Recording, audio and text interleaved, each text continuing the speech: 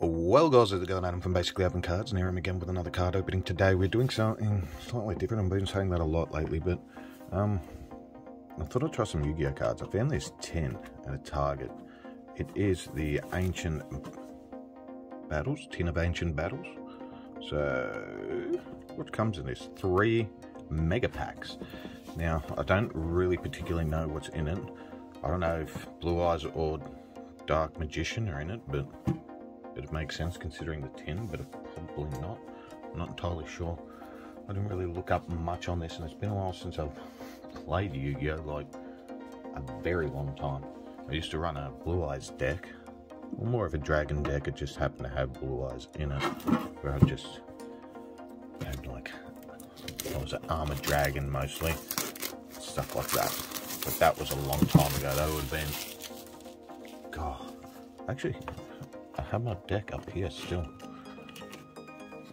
It would have been this is my old deck. There's a lot of new ones in here, but mainly I guess okay no, it doesn't tell me it just says 1996.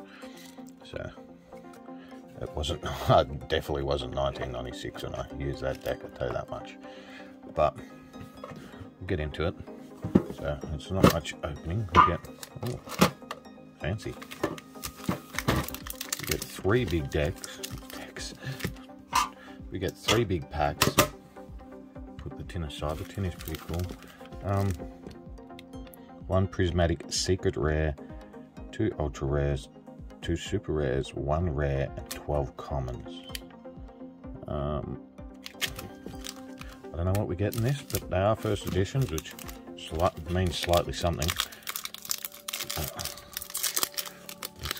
Straight into it.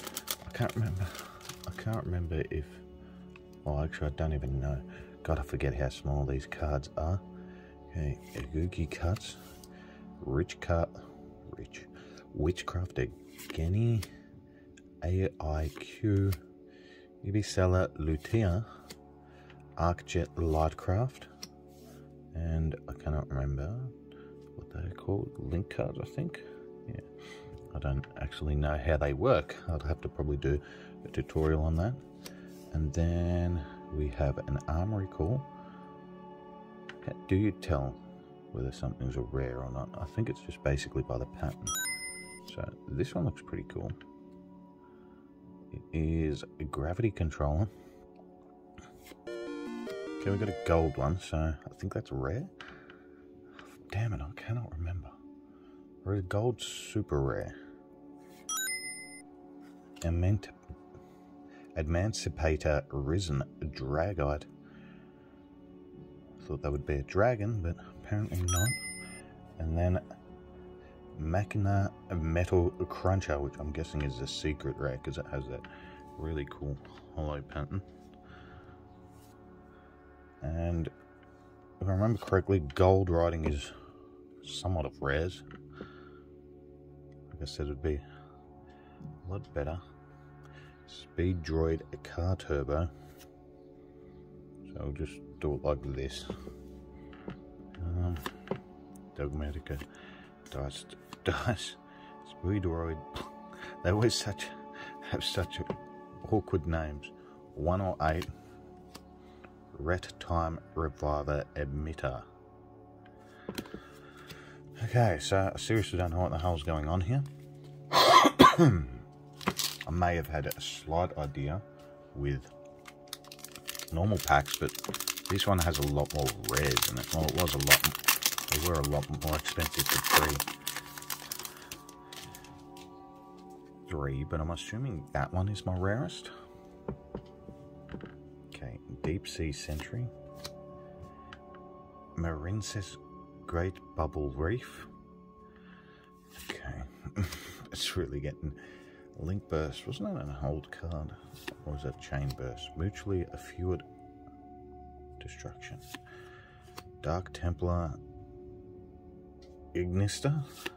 I don't know if that was meant to be at Ignister. Rose Girl.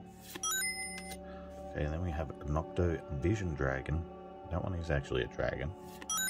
Then we have Drytron Gamma Eltanin Grave Digger's Trap Hole. Okay. And then we have this one. This one's pretty cool. Um, Aussa, the Earth Charmer, immovable. That was a nice one. I like that one. And then we have El Shaddoll. really are going all out. Like I said, I haven't kept up with the meta of these games. Union Driver. Okay. That will be just here. Uh, Dracoon Lamp. Infernity Doom Archfiend. Tri Brigade Standoff. Fury of Kairyu-Shin. And Jack in the Hand. Oh, oops, sorry. And Capricious Dark Lord. They do kind of come out a little scuffed, these cards. So, I don't know if you can see the tip there. It's just bent a little. Okay, last pack. I don't know if I've gotten anything good. If I have, leave it in the comment section because I don't know what the hell's going on here.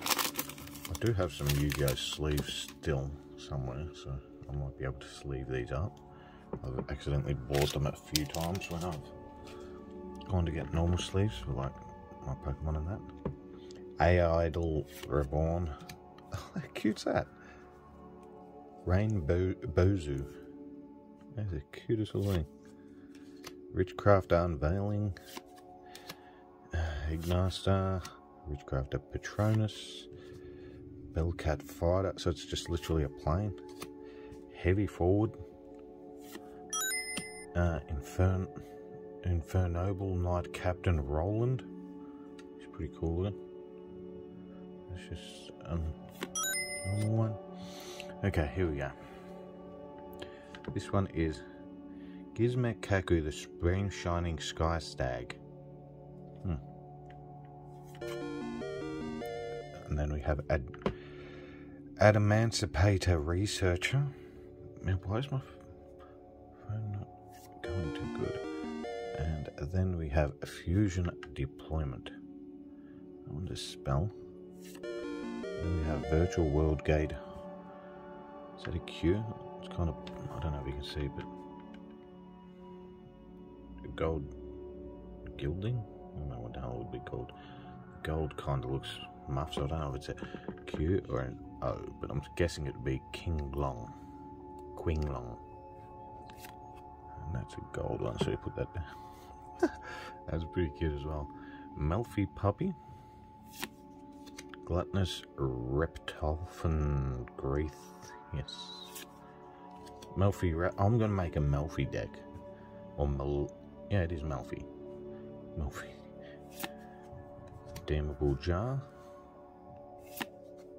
Melffy Playhouse. And Awakening of the Possessor. So, seriously? I haven't got a clue what's going on here. Got a lot of cool looking cards. The artwork's very hit and miss with Yu-Gi-Oh! Sometimes you get really cool looking ones. Like, this dude looks pretty cool. Uh, this one looks pretty cool. Dragon looks pretty cool. Well, actually, it's not a dragon, it's a synchro rock.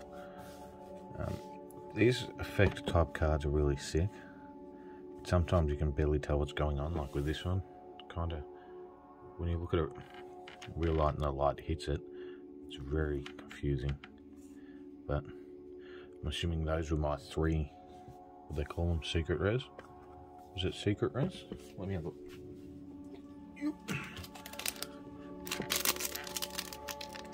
So you are one prismatic secret rare, two ultra rares, uh, two super rares, one rare. So what are these? Like these are the gold. These are the same as these ones. So they could be super rares.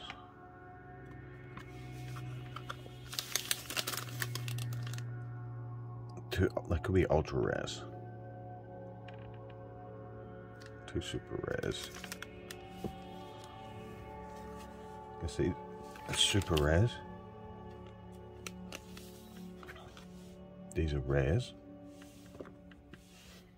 Yeah, I'm very confused. Okay, got three rare cards, so those could be rares. Those could be prismatic secret rares. Two ultra rares, so they could be ultra rares. Two super rares, and I guess these are super rares. I thought they were just foils. Two, two, two. Oh well. I'm guessing that the secret rares would be the ones that are worth something.